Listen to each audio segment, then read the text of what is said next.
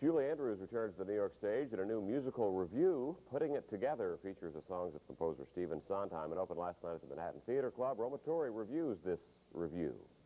I've never been a fan of musical reviews. They always seem like a cheap way of avoiding a story, something like skipping the healthy food on your plate and cutting right to the dessert.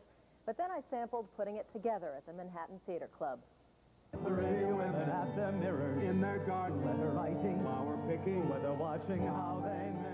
Unlike most reviews, Putting It Together does have some cohesion. The songs aren't just tied together simply because they were written by the same person. There is a thread of a story, and the actors maintain consistent characters throughout.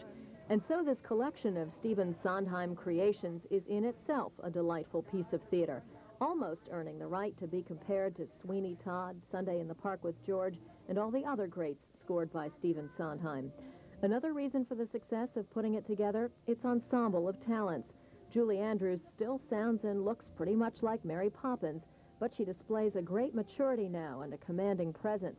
And it's clear she's not just on that stage because she's a star. She's just that good. Listen, everybody, I'm afraid you didn't hear, or do you want to see a crazy lady fall apart in front of you? It isn't only Paul who could be ruining his life, you know. We'll both of us be losing our identities. I telephoned my analyst about it, and he said to call him Monday, but by Monday I'll be floating in the Hudson with the other garbage. But for all her celebrity, Andrews is still one of five performers, all of whom are distinguished because they're actors who sing. Sondheim's greatness is his lyrics, dramatic little stories framed by difficult tunes. Anyone can sing Sondheim, but it takes a special talent to act him. And so equal praise to Stephen Collins, Michael Rupert, and Christopher Durang. Oh, oh, wouldn't she be delightful living in, giving out?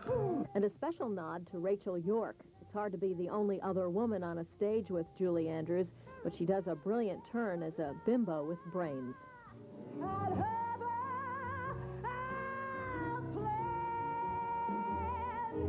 Baby, you're gonna discover I